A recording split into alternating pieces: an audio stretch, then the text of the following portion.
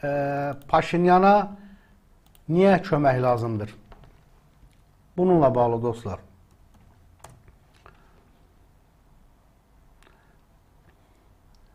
Azərbaycan Paşinyana kömək etməlidir. Deputat Qüdrət Həsənquliyevdən açıqlama. Ermənistan Naxçıvana maneəsiz gediş-gəliş təmin etməyə dair öhdəliyini yerinə yetirməsə, Azərbaycan güc tətbiq etməklə buna nail olmalıdır. Yeni Sabahs xəbər verir ki, bu sözləri Əhd Partiyasının sədri Millət vəkili Qüdrət Həsənquliyev mediaya geniş müsahibəsində deyib. O bildirib ki, Paşinyan bunu etməkdən qorxur. Ona görə ki, Azərbaycan bu işdə ona kömək etməlidir.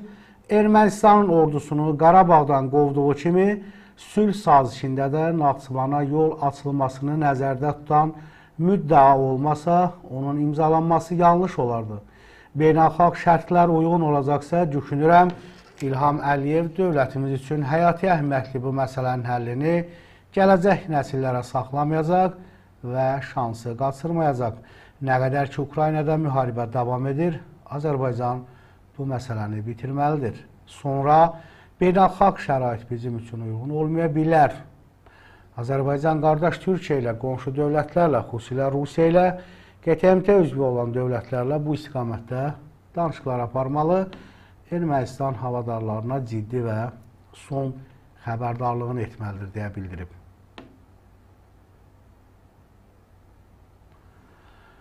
Dostlar, Azərbaycan Paşinyana kömək etməlidirmi sizcə? Və Kərkidən söhbət düşmüşkə, İrəvan qərar verdi Kərki kəndi Azərbaycana qaytarılır. Dostlar, bu xəbərdə deyimli deputatın açıqlamasını birgə müzakirə edəyin. Hökumət dırnaq şərəsində Artsaq sakinlərinin Qarabağ tərk etmiş ermənilər ev tikməsi bayalması üçün 390 yaşayış məntəqəsinin siyasını təsdiqləyib. Qlobal İnfaz xəbər verir ki, bunu ölkə üçün Həyat Partiyasının həmtəsisi Mesrub Arakelyan yazıb.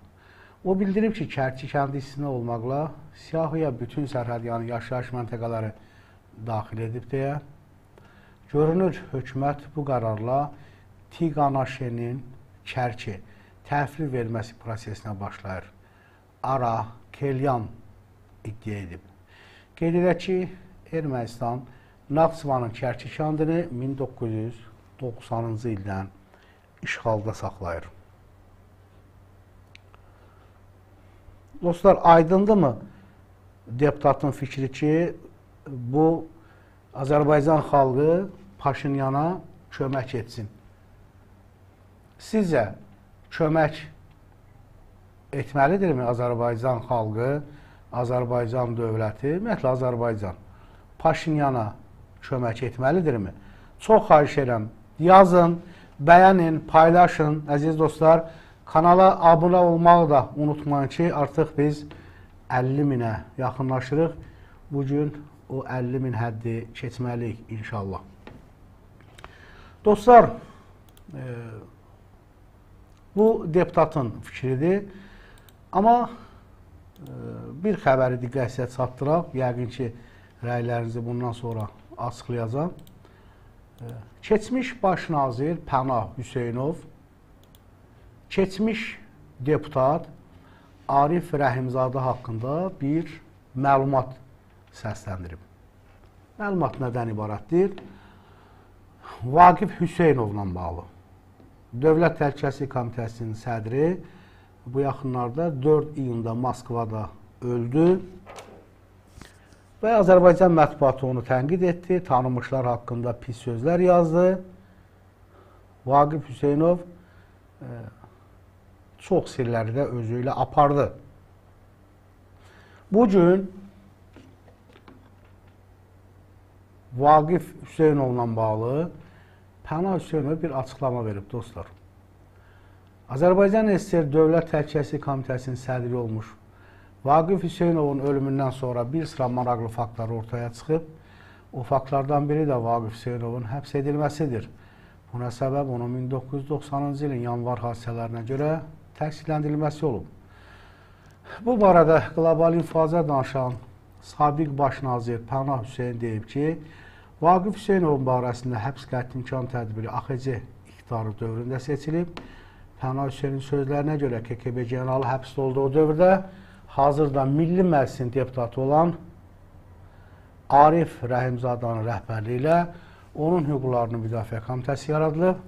Arif Rəhimzadə həmin dövrdə deputat olub. Rusiyanın adamı Azərbaycan müstəqilliyinin əleyhinə olan SSR-nin qalması üçün var gücü ilə çalışan bu şəxs. Amma Arif Rəhimzadə dostlar təksib edib mövzunu. Deyir ki, o adamın hüquqlarını mən müdafiə etməmişəm, yanlış məlumatdır. Ümumiyyətlə elə bir komitənin yaradılmasından, var olmasından xəbərim olmayıb. Çünki Vaqif Hüseynovun hüquqlarını müdafiə edən komitə yaradılmayıb. Açığı desəm ki, o zamandan 30 ildən çox vaxt ötüb, həmin əhvalatlar yadımda deyil. Arif Rəhimzadə Vaqif Hüseynovla münasibətlərinə aydınlıq gətirib. Deyir ki, mənim Hüseynovla münasibətlərim bir o qədər də yaxın deyildi. Bildiyiniz normal münasibət idi. Mən Qubad rayonunda işləyən zaman bir nəfər işlə tanış olmaq üçün gəlmişdi. Həmin vaxt onunla elə orada tanış oldum. Ondan sonra isə münasibətimiz olmayıb. Amma dostlar, Bəs e, Pənah Hüseynov niyə deyir ki, Vaqif Hüseynovun Müdafiə Komitəsinin sədri Arif Rəhimzadə olub və Arif Rəhimzadə də açıqlama verir ki, mən olmamışam, ümumiyyətlə həmən zaman Müdafiə Komitəsi yaranmayıb. Biz indi kimə inanalım dostlar? Pənah Hüseynova yoxsa Arif Rəhimzadəyə? Elə əziz dostlar, kanalda olanlar sizə sual verirəm. Pənah Hüseynova inanırsınız, yoxsa Arif Rəhimzadəyə? Arif Rəhimzadə keçmiş deputat, Pənah Hüseynov keçmiş baş nazirdir. Siz hansına inanırsınız? Biri elə deyir, biri belə deyir. Çox maraqlıdır. Bu tarixdə 1000 ilin tarixi deyil, 500 ilin tarixi deyil. Bu tarix 30 e, il bundan qabağın tarixidir. Yaxşı, hanı bəs bizim arxivlərimiz? Kanalda olanlar çox xahiş edirəm, hərəniz bir dəfə bəyənmə işarəsi verin, əziz izləyicilər və kanala abunə olmağı da unutmayın. Fikirlərinizi yazın, dostlar. 64 nəfər sorğuda iştirak edib, deputatın Azərbaycan Paşinyana kömək etməlidir. Təklifi ilə razılaşırsınız, yoxsa yox sualına. 48% bəli, 48% bəli, 43% xeyir, 9% maraqlı deyil.